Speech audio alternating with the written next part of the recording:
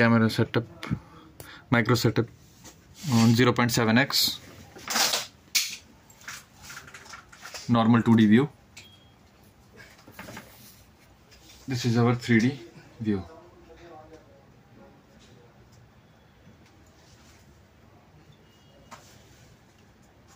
And this is 2d view.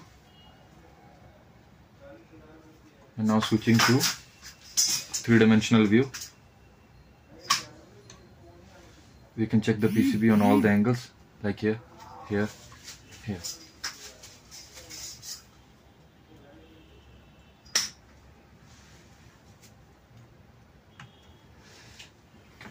Magnification 1x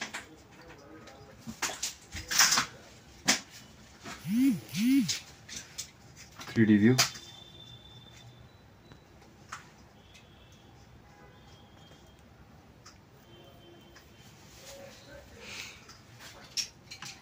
Increasing the magnification 1.25x.